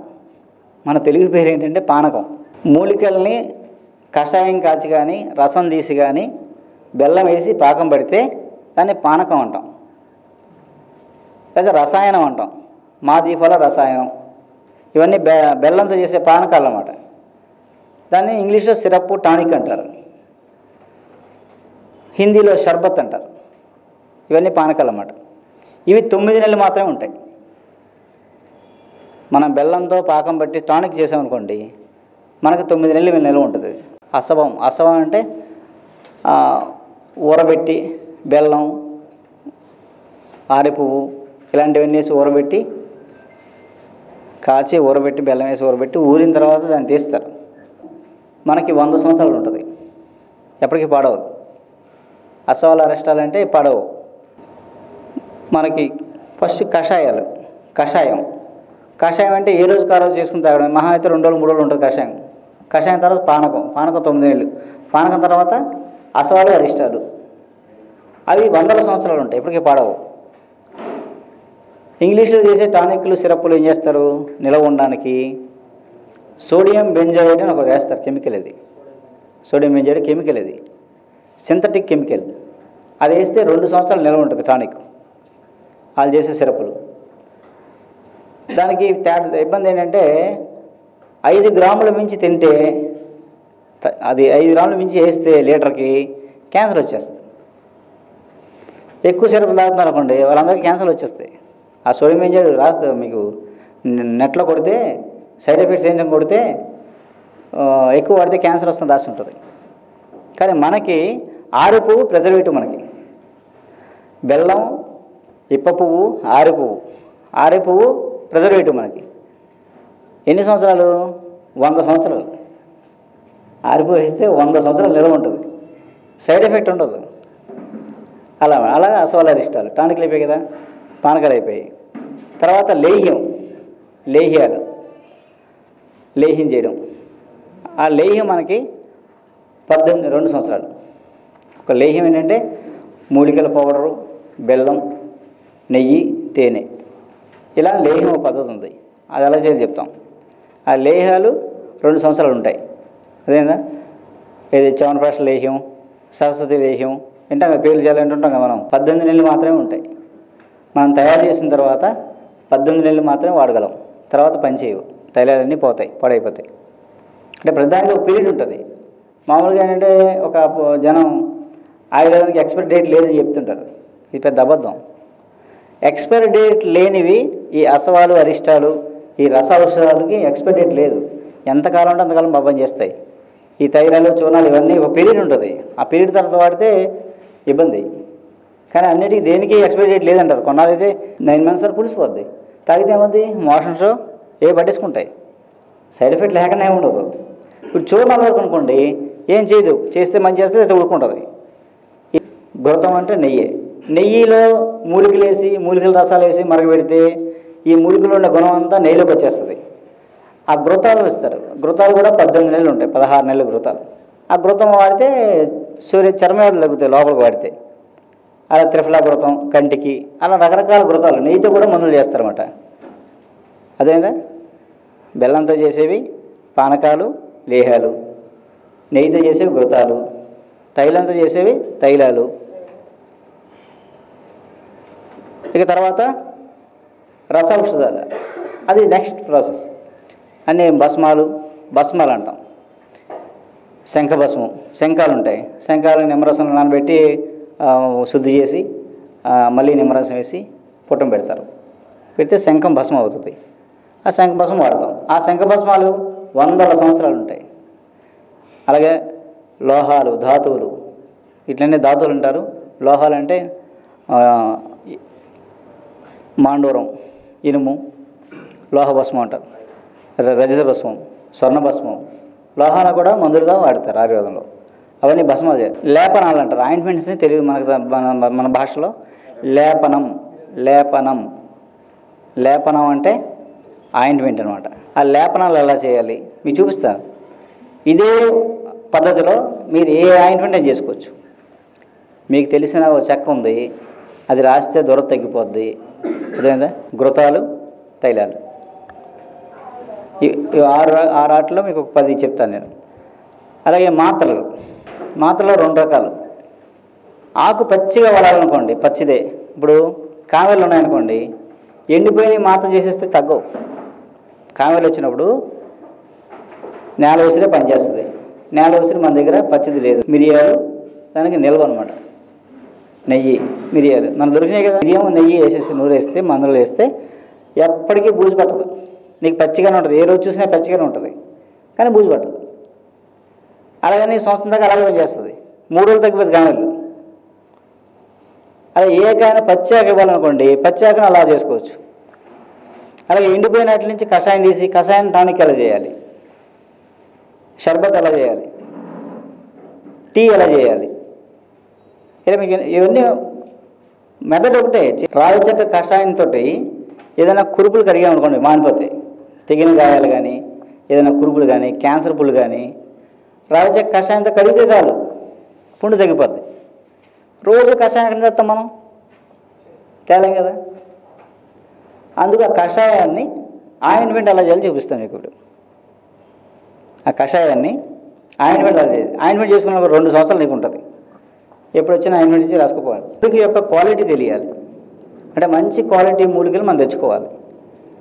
ఇప్పుడు చెట్టు బెరడు తీయాలనుకోండి ఏదో ఐదేళ్ళతో ఆరేళ్ళతో చెట్టు తీస్తే పనిచేయదు ఆ దళసరిగా ఉండాలి తొక్క. పెరడు ఎంత దళసరిగా ఉంటే అంత బాగా పని చేస్తుంది. లేతగా ఉన్న దాంట్లో ఏమో ఏం గుణాలు ఉండవు. అలా ఉండవు. మూలికని సేకరించినప్పుడు కూడా మనకి చెక్కలు సేకరించాలంటే మీకు అదే ఎంత పెద్దదైతే పైల్స్కి ఇవ్వాలనుకోండి పైల్స్కి లడ్డు లడ్డు. లడ్డు ఎలాగో చూపిస్తాను మీకు. అది మామూలు లడ్డే కానీ పైల్స్ తగ్గిపోద్ది. ఫ్రీ మోషన్ అయిపోద్ది కరిగిపోతాయి నీకు రెండు నెలలు మూడు నెలలు నెల ఉంటుంది. ఏం పాడవదు రోజుగా లడ్డు తినిపించామనుకో ఒక ఇరవై రోజులు అడి పైసి పోద్ది. మరి కనపడదు ఇంకొకటి మనం ఒక ఒక ఒక మందు చేసామనుకోండి అది పది రకాలుగా పనిచేస్తాయి ఎప్పుడు. ఒకదానికే గ్యా ఏం కాదు. పది రకాలుగా యూజ్ చేసి మనం. ఎందుకు? మనకు మనం వేసిన దినుసుల్లో గుణాలు మనం బదిలిస్తే ఆ మొక్క దేనికి పనిచేస్తో ఎన్ని రకాలు పనిచేస్తో దీన్ని అన్ని రకాలుగా ఇచ్చేయచ్చు. ఆయుర్వేదంలో ఒక మందు వంద రకాల జబ్బులు మీద వాడేయచ్చు. చిన్న చిన్న అనుభవం మార్చేసి ఇచ్చేస్తే పర్ఫెక్ట్గా చేసేసారు ఒక ఇరవై జబ్బులు తగ్గించేయచ్చు. చిన్న అనుభవం మార్చేసి. ఇంగ్లీష్లో అలా ఉండదు. ఒక మందు ఒకదానికి ఇంకో దానికి పని చేయదు. ఇంకో దాన్ని చెరగొడుతుంది ఉంటాయి ఇక్కడ గొప్పతనం. పసుపు రంగులో బెల్లం వా మనం వాడకూడదు ఎవరిని వాడొద్దని వాడకూడదని చెప్పాలి. మన దగ్గర పేషెంట్కి పసుపు రంగు బెల్లం వాడకని చెప్పండి. ఎందుకంటే పసుపు రంగు బెల్లంలో అమోనియం సల్ఫేట్ ఉంటుంది. అది రంగు రావడం కోసమే బెల్లంలో రంగు వేస్తారు. అందుకు పసుపు రంగు బెల్లం పేషెంట్ని వాడొద్దని చెప్పి మనం కూడా వాడద్దు. వాడక్కర్లేదు. మామూలుగా బెల్లం నల్ల బెల్లం ఉంటుంది. చూసా వచ్చేలా ఉందో? గట్టిగా. ఇది అంత తీయగా ఉండదు. కొంచెం చప్పచప్పగా ఉంటుంది. పాత బెల్లం. పొరటాల బెల్లం పిలుస్తారు. డెలివరీ అయిన తర్వాత ఈ బెల్లంతో కాయం అని చేసిస్తారు. ఒళ్ళు ఆరిపోద్ది అనమాట తింటే. చెరుకు నుంచి తీసిందే కాకపోతే పాత బెల్లం. ఇది ఎలా చేస్తారంటే చెరుకు గడ్డ ఉంటుంది కదా చెరుకు నీళ్ళు ఎక్కువ ఉంటాయని మధ్యలో మొక్క తీసి ఆడి ఇలా బెల్లం చేస్తారు. గట్టిగా ఉంటుంది ఎప్పటికీ తడవదు. ఇది ఒరిజినల్ బెల్లం. మనం పూర్వం వాడుకున్న బెల్లం ఇదే. మనం దేనికి వాడాలన్నా ఇది వాడచ్చు పటిక బెల్లం వాడచ్చు. పటిక బెల్లం ఈ బెల్లం వాడచ్చు. తాటి బెల్లం నువ్వులు నల్ల నువ్వులు. తెల్లగా ఉన్నాయి కొంచెం నల్లగా ఉన్నాయి కొంచెం కొంచెం తాటి బెల్లం. మూడు సమంగానే వేసి కొమ్మేసి గట్టిగానే మెత్తగా నూరేసి ఉండలు చేసామనుకోండి పైల్స్ లడ్డు పైల్స్ అని చెప్పామే. ఆ వండ రోజు కూడా తిన్నారనుకోండి పైల్స్లో బ్లీడింగ్ తగ్గిపోద్ది నొప్పి తగ్గిపోద్ది ఆ పిలకలు కరిగిపోతాయి. కూలింగ్ చేయనివ్వను. రెండు అది పైల్సే కాదు కాల్షియం లోపం ఏమైనా కీళ్ళ నొప్పులు వచ్చారనుకోండి మోకాలు అరిగిపోతున్నాయి ఏరిపోతుంది ఆ లడ్డూలు ఇవ్వండి సేఫ్. ఏమీ చేయదు. ఇంకోటి అది ఏమీ హాని చేయదు. మంచి బలం. కీళ్ళల్లో గుజ్జు పెరుగుతుంది. ఎముకలు స్ట్రాంగ్ అవుతాయి. చిన్నపిల్లలు వస్తుంటారు. మా అమ్మ- మా పిల్లడు సొద్దు నేస్తున్నాడండి పిల్లలు సొద్దు తింటున్నారు అనుకోండి కాల్షియం లోపం ఉందని అర్థం. అదేవిధంగా పిల్లలు సొద్దు తింటున్నారంటే అది ఇండికేషన్ ఉంటాడు కాల్షియం డిఫిషియన్సీ ఉంది లోపల. అంటే కాల్షియం లోపం ఉంది అడిగి బ్లడ్లో ఐరన్ కంటెంట్ లోపం వల్ల మట్టి తింటాడు. లేడీస్ బియ్యంలో రాళ్ళు తింటుంటారు. ఆడవాళ్ళు ఎక్కువ మంది బియ్యంలో రాళ్ళు ఎవరు తింటుంటారు? బియ్యంలో రాళ్ళు తింటున్నారంటే వాళ్ళకి ఐరన్ డిఫిషియన్సీ అని అర్థం. కొంతమంది బియ్యమే తినేస్తుంటారు. కొంగులో పోసుకుని బియ్యం కూడా తినేస్తుంటారు. కూడా అలవాటు ఏంటంటే వాళ్ళకి వాళ్ళకి ఖచ్చితంగా బయట ఇచ్చే చదువుతుంటుంది. వాళ్ళు మన చెప్పక్కల మనం కనిపెట్టేయచ్చు బియ్యం తింటున్నారంటే. వీక్నెస్ వాళ్ళకి కాల్షియం లోపం ఈ లడ్డు పెట్టారనుకోండి బియ్యం తిన్న మానేస్తారు. ఈ లడ్డు వల్ల అన్ని ఉపయోగాలు. చేయడం సింపులే కదా? అంతేనా? తెలియని వరకు ఏదో భ్రమించి అనుకుంటాం. తెలిసాక చాలా సింపుల్గా ఉంటాయని ఇంత మూట కట్టి దాని గొడ్డలో మూట కట్టి బొగ్గలు పెట్టి పడుకోవాలి రాత్రికి. చేయగానే చెప్తున్నాను ఈ విషయం చెప్తాను బొగ్గలు పెట్టి పడుకుంటే పొద్దున్న లేచాక ఆ గింజలను ఆరబెట్టేసి దాచారనుకోండి విషం. పాయిజన్ అనమాట అది. కోళ్ళు కడిగి చచ్చిపోతాయి. కోళ్ళు కది వేస్తే మొత్తం మొత్తకి పడిపోతే లేదా చచ్చిపోతుంది కదా డోస్ ఎక్కువైతే అంతే కదా రావడానికి కారణం ఏంటో కనుక్కున్నాం అనుకోండి సొల్యూషన్ చాలా ఈజీ మనకి. పచ్చం అప్పుడు ఏం చేస్తాం నాన్ వెజ్ తింటాం. మసాలాలు మసాలా అంటే నాన్ వెజ్ కదా. కాయగూరలో మసాలా ఎక్కడ వేస్తారు? నాన్ వెజ్ మాంసాహారం తిన్న వాళ్ళకి పైల్స్ వస్తాయి. అవి మానేమనాలి? అది ఎలాగ మంచిది కాదు? అంటే మన దేహానికి పట్టలేదంటే అర్థం ఏంటంటే అది మంచిది కాదని అర్థం. దాని జోలికి వెళ్ళకూడదు. అదనమాట అది మానేసి తింటే ఇది తింటే తగ్గిపోద్ది. మళ్ళీ తింటే మళ్ళీ వచ్చేద్ది. ఏం లేదు. మళ్ళీ మందులు పోతే మందులమే. నీకు శాశ్వతంగా తగ్గాలనుకో శాశ్వతంగా నాన్ వెజ్ మానే ఈ మందు వేసుకు తగ్గిపోద్ది. మామూలుగా ఈ కిడ్నీలో స్టోన్స్ ఉన్నాయి. టమోటా తినకూడదు. అని చెప్తారా? ఏం అక్కర్లే. అది కరెక్ట్ కాదు. ఇప్పుడు నేను తిన్నాను టమోటా రోజుని నాకు నాకు స్టోన్స్ రావట్లేదు. నీకు వస్తున్నాయి ఎందుకు వస్తున్నాయి? నీ శరీరతత్వం బాగోక వస్తున్నాయి. అంతే కదా? అప్పుడు నీ శరీరతత్వం బాగోక నీ కిడ్నీ ఆ ఫిల్టరేషన్ చేయట్లేదు ఆ కాల్షియం బయటికి గంటట్లేదు. ఆ లోపల ఉన్న వేస్ట్ అంతా ఉండిపోయి గడ్డలా తయారైపోతుంది రాళ్ళలాగా కిడ్నీలోని. అవునా? మన మందు ఏమవుద్ది ఆయుర్వేదంలో కిడ్నీ స్టోన్ మందిస్తే ముందు తత్వం బాగుపడుతుంది. అది కూడా వేడి శరీరమే వేడి తత్వంలోకి కిడ్నీ స్టోన్స్ ఫామ్ అవుతాయి మనం మందు ఇచ్చామనుకోండి కిడ్నీ స్టోన్ పోద్ది. పోయేది ఏం తిన్నా కిడ్నీ స్టోన్ రాదు. అది మందు ఇవ్వడం అంటే. నువ్వు అన్నీ మానే మందు ఇస్తానంటే అవును నువ్వు ప్రాబ్లం ఉన్నప్పుడు మానవు అంటే మానాల్సినవి శాశ్వతంగా మానేయడమే. మంచిగానివి. నాన్ వెజ్ మంచిది కాదు. ఇంక జీవితాంతా దాని జోలికి వెళ్ళక మంచిది కాదు. మానే. అయిపోయింది. నువ్వు కూరగాయలు అన్నీ తిను. ఏం కాదు. నువ్వు మందు వాడితే అన్నీ తిను తగ్గిపోద్ది. కిడ్నీ స్టోన్స్ ఉన్నాయి. ఇంగ్లీష్లో ఎన్ని ఎంత పెద్ద లిస్ట్ ఇస్తారు. కాల్షియం ఉన్నాయన్నీ మానేయమంటారు ఇంకా తినడానికి ఏమి ఉండదు. మురక్కడ మానే టమాటా మానే దుంపలు మానే పాలు మానే అన్నీ మానేమండి ఏం మానక్కల దుంపలు రోజు తింటారు కదా. రోజు దుంపలు తింటారు ఏంటి? రోజు తినేది కదా. ఏ వారానికో నెలకో రెండు తింటారు. రోజు దుంపలు ఏం తింటారు? రోజు దుంపలు తినకూడదు. వాతం ఉన్నవాళ్ళు. అలాగే అప్పుడప్పుడు తినాలి. తినకపోతే ఏదో ప్రాబ్లం. ఇస్తే తగ్గుతాయి. దుంపలు అప్పుడప్పుడు తినచ్చు. ఆ పచ్చం ఏంటంటే సందర్భాన్ని బట్టి పచ్చం. అందుకే మనం మందు చేసేటప్పుడే ఆ జబ్బు ఎందుకు వస్తుంది? దానికి ఏం పచ్చం ఉండాలి? అవన్నీ చెప్తాం మీకు. పటిక బెల్లం రెండు ఒకటి. తాటి పటిక బెల్లం. తెలుసా? తాటి కలకండ అంటారు. దీన్ని కలకండ అంటారు. ఇది తాటి కలకండ. తాటి కలకండ. తాటి బెల్లమే పటిక బెల్లంలో చేస్తారు గట్టిగా. ఈ తాటి కలకండ. అదేనా ఇది అశ్వగంధం ఉందనుకోండి అశ్వగంధ పొడి. అశ్వగంధ పొడి బెల్లంతో ఇస్తే ఒకలా పనిచేస్తుంది తాటి బెల్లంతో ఇస్తే ఒకలా పనిచేస్తుంది ఈ కలకండతో ఇస్తే ఒకలా పనిచేస్తుంది అశ్వగంధ పొడి చేసేసి ఈ తాటి బెల్లం పొడి చేసి ఇది తడవదు కదా వేసి రెండు పొడి చేసి పొడి పెట్టుకొని రోజుకు జిమ్ చేసుకున్నాం అనుకోండి పాలు గీలు అక్కల విపరీతం బలం వచ్చేస్తుంది అనమాట బాడీ కూల్ అయిపోద్ది. వేడి తగ్గితే ఈ పైల్స్ ఇలాంటివన్నీ పోతాయి. తగ్గించేదే కూలింగ్ అనమాట నువ్వులు. నువ్వులు పెయిన్ కిల్లర్. మనకు అన్నింటిలో తైలాల్లో నువ్వులను ఎందుకు వాడతారు అంటే ఉట్టి నూనె పెయిన్ కిల్లర్. పెయిన్ రిలీఫ్ స్నానం చేసేవాళ్ళం. ఎలాగా? అభ్యంగనం అంటే ఆయిల్ రాసుకొని నువ్వులను బాగా గట్టిగా రాసుకొని శుభ్రంగా స్నానం చేసేవారు. ఎందుకు చేసేవారు? ఒళ్ళు నొప్పులు తగ్గిపోయాయి. ఎప్పటికీ కీళ్ళ నొప్పులు వచ్చి కాదు. ఈ వాతం అంతా లాగేసేది. అందుకే పూర్వం ఎవరికి కీలవాతాలు లేవు. ఆయిల్ రాసుకుని స్నానం చేసిన ఎవరికైనా కీలవాతాలు ఉన్నాయటి? చూడండి మీరు. నువ్వులను. రాసుకొని స్నానం చేసిన ఎవరికి కీళ్ళ నొప్పులు లేవు. మనం పాత చరిత్రలోకి వెళ్తే. తైలం. నువ్వులు పెయిన్ కిల్లర్. అందుకే మన పైల్స్లో నొప్పి ఉంటుంది కదా? పైల్స్లో నొప్పి వచ్చేస్తుంది. విపరీత నొప్పి ఉంటుంది. నువ్వులు ఏం చేస్తాయి? నొప్పిని తగ్గిస్తాయి. అదేనా నువ్వులు నొప్పిని తగ్గించి కాల్షియం ఉండడం వల్ల మోషన్ ఫ్రీగా అవుతుంది. ఈ బెల్లం ఏం చేస్తుంది? శరీరం బాడీలో బాడీలో హీట్ తగ్గిస్తుంది. పైల్స్ అంటే ఎలా వస్తాయి అంటున్నారు? పైల్స్ అంటే గడ్డలు కదా ఇవి. ఆ మోషన్ ఆసనం చివర చాలా రక్తనాళాలు వచ్చి ఎండ్ అవుతాయి. కొసలు రక్తనాళాల చివర్లు ఇవన్నీ వచ్చి ఇలా ముడుచుకుంటాయి అనమాట చివరిని ఉంటాయి చాలా నాళాలు అన్నీ అక్కడ అక్కడతో ఆ చివర్లు కొసలు అవి. బ్లడ్ ఇలా వచ్చి ఇలా సర్క్యులేట్ అవుతూ ఉంటుంది. చివరికి వచ్చి మళ్ళీ వెళ్ళిపోతూ ఉంటుంది. అలా ఉన్నంతసేపు మనకేమో ఈ బాడీలో వేడి కొట్టడం వల్ల ఈ బ్లడ్ క్లాట్ అయిపోతుంది. గడ్డగట్టేస్తుంది.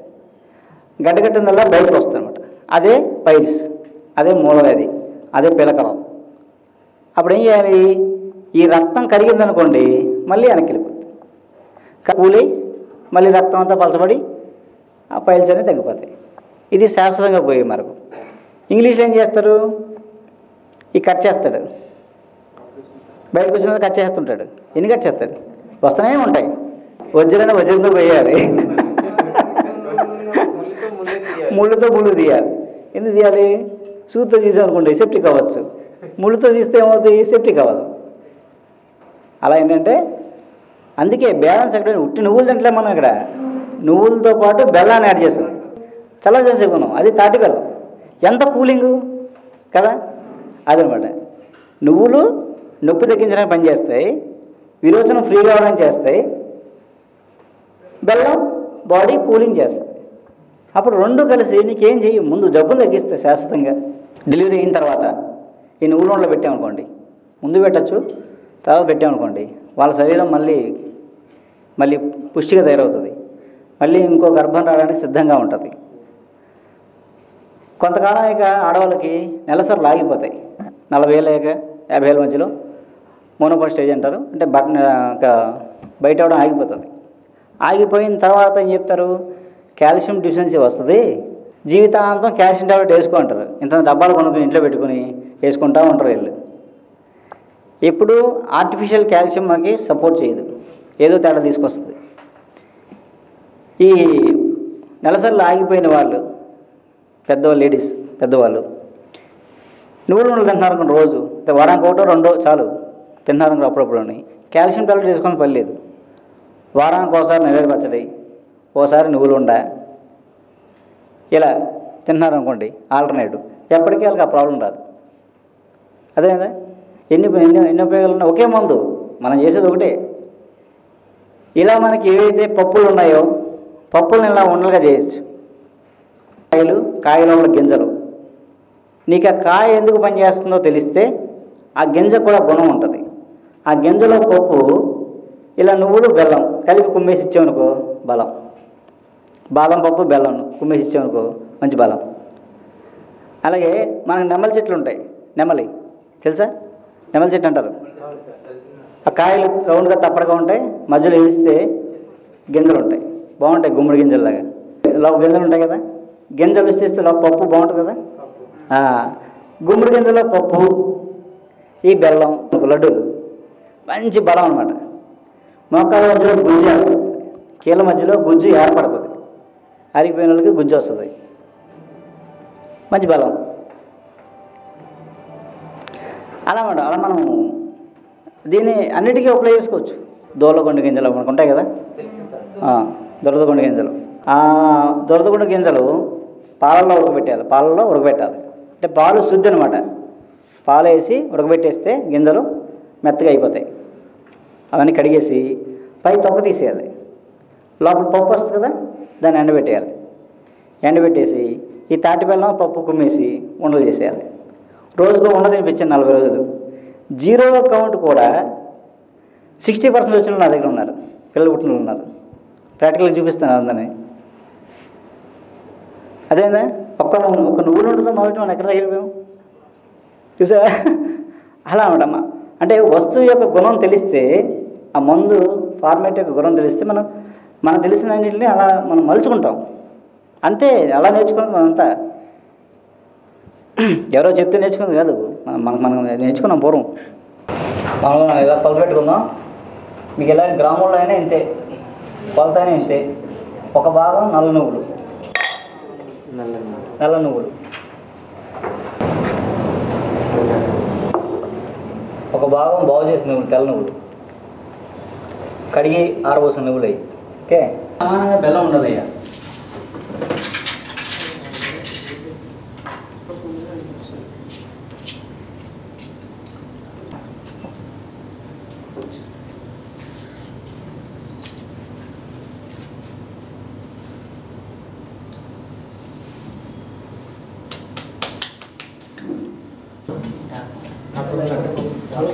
నువ్వులు మెత్తగా దంచుకోవాలి చూడండి చేయడమే టెక్నిక్.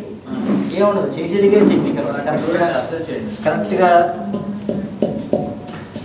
అంటే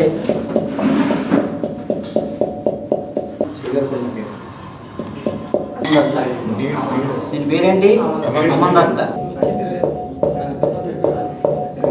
నూలు మిక్సీ ఆడలే. ఆడదు పట్టేస్తుంది. నువ్వుల బెల్లం కలిపితే తక్కువ పడేస్తుంది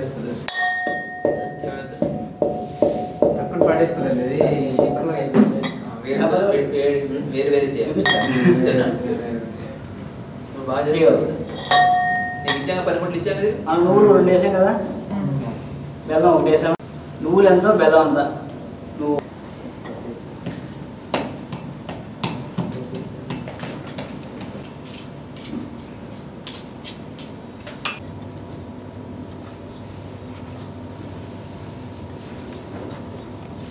చేసుకుంటున్నాను కదా నీకు సంవత్సరం దాకా ఏమవుదు సంవత్సరం దాకా ఏమవుదు పచ్చాకు నూరు పెట్టుకుంటే సంవత్సరం పాటు నిల్వ ఎలా ఉంటాయో చూపిస్తాను. మిరియాలు నెయ్యి. మీరు వేయాలనుకున్న ఆకు మిరియాలు నెయ్యి. అందులోనే మీకు ఒక మొక్కతోటి కామెర్లు మాత్రలు చేసి చూపిస్తా. కామెర్లకి మాత్రలు. మీరు ఏ ఆకు కామెర్లకి పనిచేస్తో తెలిస్తే ఆ ఆకుతో ఈ మిరియాలు నెయ్యి వేసి చేసుకోవచ్చు. ఈ ఆకు తీసినా తగ్గిపోతాయి ఈ ఆకుతో కామెర్లు ఒక రెండు మూడు లక్షల మంది ఉంటారు తగ్గిపోయిన వాళ్ళు కామెర్లు తగ్గిపోయిన వాళ్ళు లివర్ పోద్ది ట్రాన్స్ప్లాంటేషన్ చేయాలి లివర్ మార్చాలన్న కేసులు కూడా కొంత దశలో ఇటీవల చాలా కాలం బతికిన వాళ్ళు ఉన్నారు పూర్తిగా తగ్గిపోయిన వాళ్ళు ఉన్నారు. సిరోసిస్ ఆఫ్ లివర్ అంటే లివర్ ఇలా కుచి ముడిచిపోద్దాం కొన్ని వందల సంవత్సరాల నుంచి ఇది వాడుతున్నారు పిండి కొండాకు అని పిలుస్తారు. పాషాణ భేది అంటే అర్థం ఏంటంటే రాయని ఛేదించేది అని అర్థం. ఆ పాషాణ వేదిలో అసలు గుణం పోయింది కానీ ఇంకా పూర్వం కాలంలో ఆ పాషాణ భేది ఆ కొండపిండి కొండనైనా పిండి చేయగలదని దానికి సామెత అనమాట కొండపిండి అంటే కొండనైనా పిండి చేయగలదు. రసంలో రసం రాత్రి పోషించేవారు అనమాట ఈ రసం అంతా రాయినంతా ఈ రసం పోసేసేవారు. పోసేసి కొండపిండకు రసం పోసి మన్నాడు ఉలితో ఇలా చెక్కేసేవారు అనమాట కొట్టడం కాదు. మైనం బొమ్మ చెక్కినట్టు చెక్కేసేవారు రాయిని. మళ్ళీ ఇంకో ఆకు రసం వేస్తే రాయికి మళ్ళీ ఆ కఠినం వచ్చేది అనమాట అలా వాడేవారు ఈ కొండపిండాకుని ఇప్పుడు కిడ్నీ స్టోన్స్కి వాడుకుంటున్నాం. స్టోన్స్ పోతే ఎంత పెద్ద స్టోన్ అయినా కరిగిపోయి వెళ్ళిపోద్ది. మురిపిండ కుప్పింట హరిత ముంజరి హరిత ముంజరి దీని పేర్లు. కుప్పింట హరిత ముంజరి మురిపిండ మురకొండాకు మురిపిండాకు అంటారు. పిల్లలు ఇక్కడ పెట్టి కొడితే టప్పని పేలుతుంది ఆకు. చిన్నప్పుడు స్కూల్కి వెళ్ళి కొట్టుకునేవాళ్ళం. ఈ ఆకు ఇక్కడ పెట్టి ఇలా కొడితే టప్పని పేలుతుంది. ఇది కామెలకు బాగా పనిచేస్తున్నమాట లివర్ ప్రాబ్లమ్స్కి బాగా పనిచేస్తుంది. ఇంకొకటి ఏంటంటే మోకాల్లో ఏవో వాచిపోయి బాగా కీళ్ళు. కీళ్ళు వాచిపోయి నొప్పి వచ్చేస్తాయి. ఒక్కొక్కసారి జ్వరం కూడా వచ్చేస్తాయి. కీళ్ళ వాపుతో వచ్చే జ్వరం. రొమాటిక్ ఫీవర్ అంటారు మామూలుగా. కీళ్ళు వాచిపోయి విపరీతం జ్వరం వచ్చేస్తుంది. అలాంటప్పుడు ఇది ఇస్తే ఆ కీళ్ళ వాత జ్వరం తగ్గిపోద్ది. కీళ్ళ వాపులు తగ్గిపోతాయి. మొక్కలు వాపులు తగ్గిపోతాయి. మొక్కల నొప్పులు కూడా వాచినప్పుడు మామూలుగా నొప్పి ఉంటే కాదు. బాగా వాచిపోయి కాలు కదలని పరిస్థితి ఉంటే ఈ మాత్రలు ఇస్తే మూడు రోజులు ఆ వాపు తగ్గిపోతాయి కామెలకైతే ఇంకా మూడే రోజులు. ఎంత ఎక్కువ ప్రాబ్లం ఉన్నా విన్ను. ఆ టెన్ లెవెన్కి వెళ్ళిపోయినాయి కూడా మూడు రోజుల్లో నార్మల్గా వచ్చేస్తాయి. ఈ ఆకు మనం మామూలుగా అయితే పచ్చాకు నూరి ముద్ద ఇవ్వాలి రోజుకో ముద్ద ఇవ్వాలి పొద్దున మధ్యాహ్నం సాయంత్రం. మూడు రోజులు ఇవ్వాలి. కామెలకి దీనికి ఈ ఆకులని మనం మాటలు చేసుకుంటే సంవత్సరం మన దగ్గర ఉంటాయి. ఒకసారి చేసి పెట్టేసుకున్నాం ఒక రోజంతా కష్టపడి ఒక సంవత్సరం దాకా మన దగ్గర ఉంటాయి ఎప్పుడు పేషెంట్ ఎద్దరాత్రి తలుపు తట్టినా మనం ఈ మాత్రలు ఇచ్చి వేసుకొని తగ్గిపోతుంది అలా పచ్చాక ఏదైనా సరే నిల్వ ఉండాలంటే ఒక చిన్న టెక్నిక్ అంతే ఏం లేదు. నెయ్యి మిరియాలు. నెయ్యి నిల్వ ఉంచుద్ది అనమాట మిరియాలు కూడా నిల్వ ఉంచుతాయి. మిరియాలు. మిరియాలు. మిరియాలు పాడకుండా చేస్తే మిరియాలు ఏం చేస్తాయి తెలుసా? మనం ఎందులో కలిపామో ఈ ఆకులు కలిపాము ఈ ఆకులు లివర్ మీద పనిచేస్తుందని తెలుసు మనకి. మిరియాలు కలిపితే ఏం చేస్తుంది? మిరియం డైరెక్ట్గా మందంతా లివర్ దగ్గర తీసుకెళ్ళి అక్కడ పని చేస్తామన్నమాట శరీరంలో ఎక్కడ పని చేయాలో అక్కడ తీసుకెళ్ళి పని చేయిస్తామన్నమాట. మిరియంలో ఉన్న గుణం అది. నెయ్యి ప్రిజర్వేటివ్ ఈ రెండు కలిస్తే మళ్ళీ నిల్వ ఉంచుతాయి మరి దీన్ని. సంవత్సరం పాటు ఇలాగే ఉంచుతాయి. ఈ రోజు ఎలా ఉందో మాత్రం సంవత్సరం పైగా టెస్ట్ చేసినా ఇందులో క్వాలిటీస్ అలాగే ఉంటాయి. అర్థమైందా? ఇక చూసి చూపిస్తాయి ఇదే పద్ధతి. పచ్చి మాత్రలు పచ్చిగా ఫ్రెష్గా ఇస్తే బాగా పని చేస్తాయి పచ్చి ముద్ద ఇస్తేనే పని చేస్తుంది ఎండిపోయింది ఇస్తే పని చేయదు. లేట్ అయిపోతుంది తగ్గదు బే తగ్గదు. అందుకు పచ్చి ముద్ద ఇవ్వాలి. నేల ఉసిరి వేసవకాలంలో ఎక్కడ తెస్తాం మనం? తేలం. ఇది వేసవకాలంలో ఉండదు. కానీ మనం ఏ శీతాకాలంలో చక్కగా కోసుకుని ఎండ నూరుకుని దాచుకున్నాం అనుకోండి ఏ వేసంగా ఎప్పుడు వచ్చినా ఇచ్చేయచ్చు. ఎప్పుడు ఇచ్చినా పని చేస్తుంది దేశవాళీ ఆవు నెయ్యి. శుద్ధమైంది దేశవాళీ ఆవు నెయ్యి మాత్రమే. అది మన ఇళ్ళలో చేసుకున్నదే. బయటకున్న ఉన్న దాంట్లో ఏముండదు నెయ్యి పేరే అసలు నెయ్యి ఎలా చేయాలి? పాలు కాచి తోడుపెట్టి చిలికి పెరుగు అయ్యాక చిలికి వెనదీసి వెనని కాస్తే నెయ్యి వస్తుంది. అంతే కదా? ఇప్పుడు వెన ఎలా వస్తుంది? పాలలోంచి డైరెక్ట్ వెన తీసేసి మరబెట్టేస్తారు. అసలు నెయ్యి అది? పెరుగు నెయ్యి అది. వాసన ఉండదు ఏముండదు అసలు నెయ్యిలో ఉండదు గుణాలే ఉండవు దాంట్లో. ఇంకా తింటే ఒళ్ళు వచ్చేస్తుంది. గుండె జబ్బులు వచ్చేస్తాయి. అలా మన ఇళ్ళలో చేసుకుని నెయ్యి ఎవరిదే ఉందో లేదా మనమే తా- కా- పాలు కాసి తోడు పెట్టుకుని నెయ్యి చేసుకుంటే ఆ నెయ్యి మనం చేసామనుకున్న సంవత్సరం పాటు ఉంటుంది. ఇప్పటికీ కృష్ణ గారు ఈ రసం తీసి పాలు వేసి ఇస్తారు వాళ్ళ ఇళ్ళలో ఇప్పటికీ ఆ ఫ్యామిలీ ఇస్తున్నారు. ఎప్పుడు వెళ్ళినా ఇస్తారు అక్కడ. తొమ్మిది మంది అంటే తీసిస్తారు. అది ఫ్రీగా సర్వీస్ అది సరదా. అలా ఏంటంటే మేము రెండు వందల నుంచి మా ఫ్యామిలీ నుంచి ఇది ఇవ్వడం మాకు అలవాటు. ఒక్క కేసు కూడా ఫెయిల్ లేదు నాకు.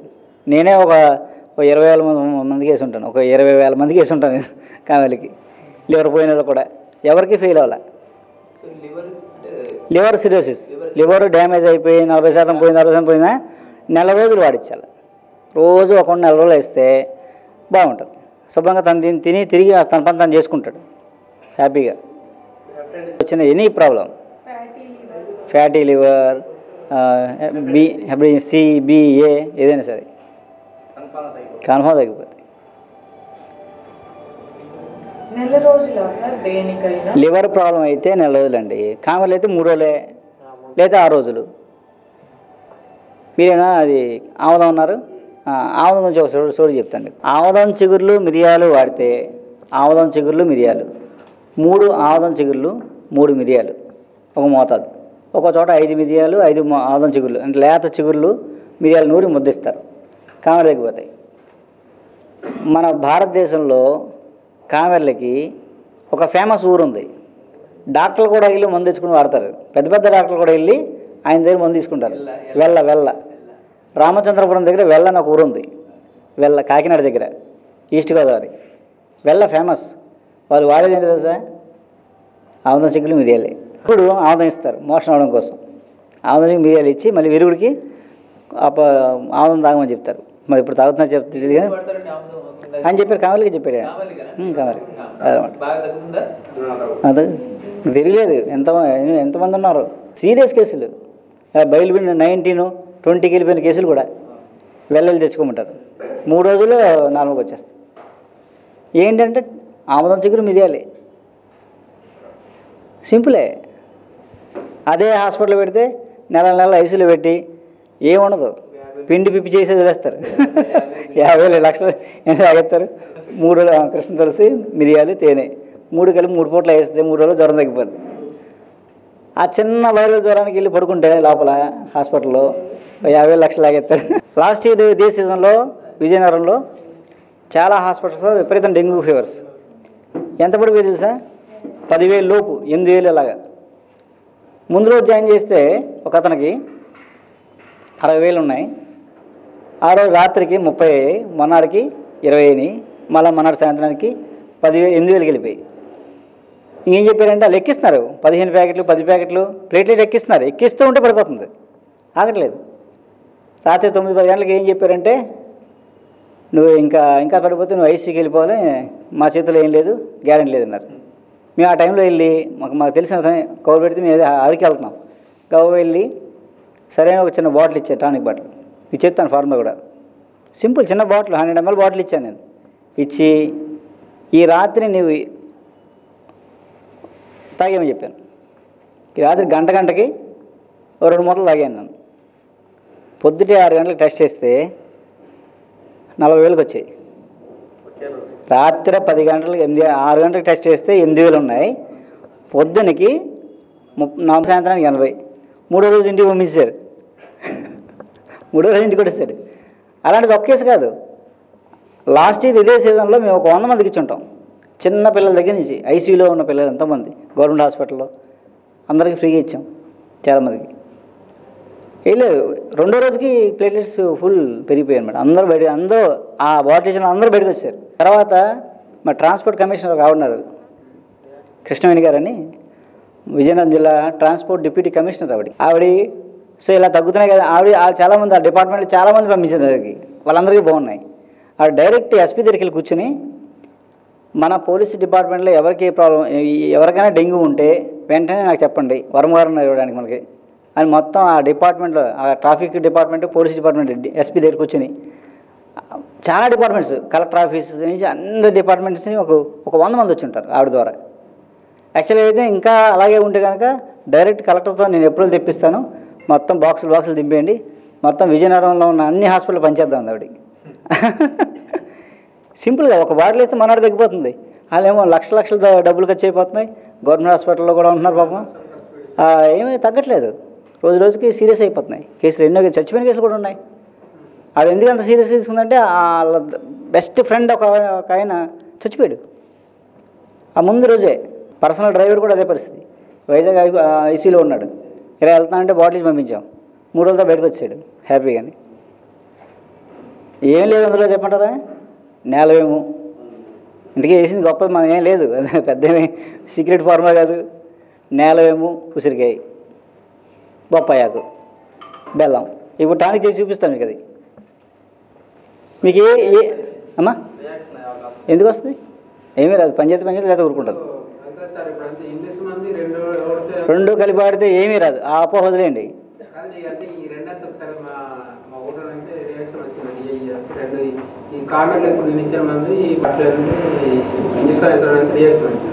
రియాక్షన్ ఇప్పుడు రాదు. ఇంగ్లీష్ మందు వాళ్ళు వస్తుంది కానీ. మామూలుగా అయితే ఊరుకుంట కేసుల్లో అందరూ ఇంగ్లీష్ మందులు వాడి వాళ్ళే ఆ వేస్తూ ఇది వాడించి తగ్గాక అవన్నీ ఆపేస్తాను. ఐసీయూలో ఉన్న కేసులు వస్తాయి మాకు. ఒక పక్క నుంచి ఇంగ్లీష్ మందులు వేస్తూ ఉంటారు. ఒక పక్క నుంచి ఈ మందులు వేస్తుంటాం. ఆ ఫీడింగ్ ట్యూబ్లు వేసేస్తుంటాం. తగ్గిపోయి బయటకు వచ్చేస్తుంటారు అదేమైందా అలా ఎప్పుడూ ఉండదు. చెప్తున్నా కదా మనం ఇచ్చే ప్లాంట్ మనం ఇచ్చే ప్రోడక్ట్ ఏదైతే ఉందో అది సేఫా కాదా? శుద్ధి చేసింది అనుకో జాగ్రత్తగా ఇవ్వాలి మన దగ్గర ఉండాలి. ఇలాంటి అనుకో ఏం కా- కళ్ళు మూసుకునివచ్చు. ఇది ఫుడ్తో సమానం. అదేనా ఉప్పు కారం లేదంత ఇందులో. కారం బదులు మీరేలు వేసాం నెయ్యి వేసాం. అంతే. Food food. అలా ఏంటంటే ఇబ్బంది ఏమి ఉండదు. మనకి ఇంకా రసవైద్యంలో అలాంటి ఇబ్బందులు ఉంటాయి.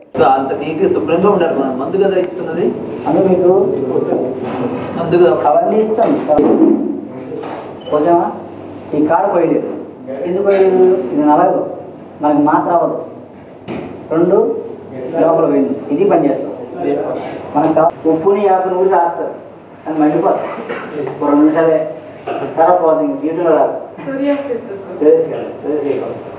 చిరుము అంటారు ఎలర్జీ రౌండ్ తామర ఉప్పుని ఆకుని ఊరి రాస్తారు. కొంచెం ఫస్ట్ వేసి. మనకు సంపాలి కదా కొద్దిగా ఉప్పు. కళ్ళు. కళ్ళు. కల్లుప్పు ఆకు. ఆకు ఒక ఎనభై గ్రాములు కల్లుప్పు ఒక పది గ్రాములు. కొద్దిగా చిక్కుడు పసుపు. వేసి రాస్తారు మామూలుగా. చర్మేది ఇది కామెడీ రాస్తాం కామెడీ ఎలా అంటే ఎనభై గ్రాములు ఎనభై గ్రాములు ఆకు. వచ్చాకే శుభ్రంగా తడి లేకుండా తుడిచింది. లేదా ఎనభై గ్రాములు. బయట వచ్చి ఎండ అవుతుంది.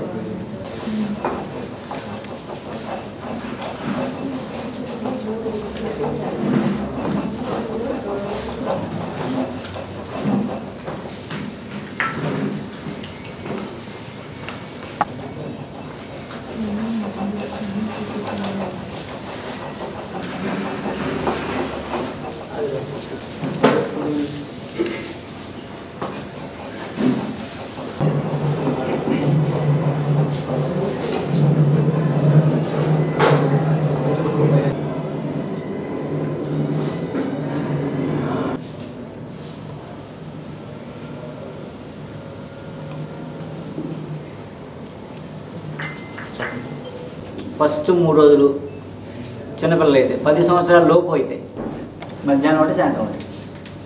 మూడు రోజులు. అయిందా? తొమ్మిది అవుతాయి. తర్వాత మూడు రోజులు పొద్దున ఒకటి సాయంత్రం ఒకటి. ఆరు అవుతాయి.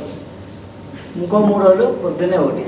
మొత్తం తొమ్మిది రోజులు డోస్ ఇది తొమ్మిది రోజులు వేయాలి. ఫస్ట్ మూడు రోజులు పొద్దున ఒకటి మధ్యాహ్నం ఒకటి సాయంత్రం ఒకటి. తర్వాత మూడు రోజులు పొద్దున ఒకటి సాయంత్రం మూడు మూడు. రోజులు తర్వాత మూడు రోజులు పొద్దున ఒకటి పెట్టాలి. పెరుగు పాలు పెరుగు పాలు. పెట్టాలి తర్వాత మూడు రోజులు అన్ని పెట్టేయచ్చు. తగ్గిపోద్ది అయితే మనం ఏ మందు ఇచ్చినా తగ్గుతుందా లేదా ఎలా తెలుస్తుంది? కామాలికి ఎప్పుడు మందు ఇచ్చినా ఏ మందు ఇచ్చినా ఇచ్చిన రెండో రోజు ఆకలి వేస్తుందని అనుకోండి. కరకర ఆకలి వెళ్ళమాట ఆకలి వేస్తుందంటే షుగర్ కారం తగ్గునే అర్థం మూడు రోజులు ఆకలి అనుకో మనం మందు పని చేయలేదు అర్థం. అది ఒక్కటే సిమ్టమ్ వచ్చినప్పటికే ఆకలి ఇది వాంతులు అయిపోతాయి. కొంతమందికి జ్వరం కూడా వచ్చేస్తుంది. డోసు పెంచండి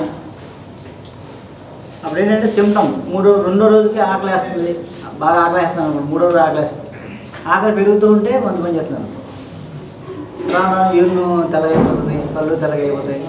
టెస్ట్ చేస్తే నార్మల్గా ఉంటుంది. ఆకలి వేసిన తగ్గిపోయింది అర్థం ఇంకా అంతే ఆకలి వేస్తున్నా లేదా సింటమ్ అంతే.